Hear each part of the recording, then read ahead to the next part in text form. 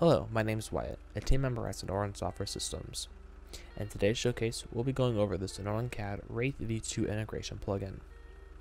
It's important to know that you'll require the Lookup plugin for Sonoran CAD in addition to pNotify.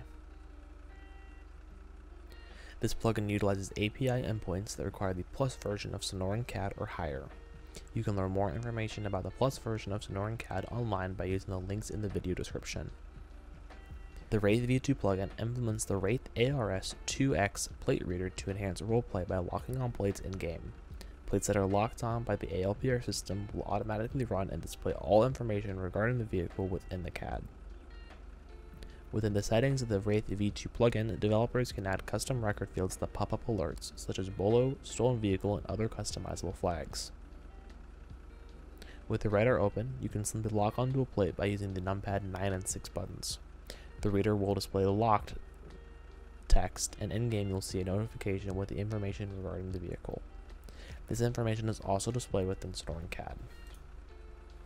As seen here, by locking onto this truck, it displays the plate, status, expiration date, and registered owner. Within the CAD, the same information is displayed as well as any associated records with the plate.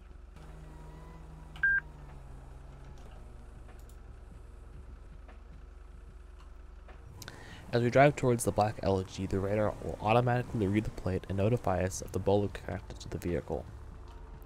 When we lock onto the plate, the same Warning. information is displayed, Armed. including the plate, status, expiration, and the owner, as well as the bolo alert and uh, any other flags that the vehicle has. Warning, armed.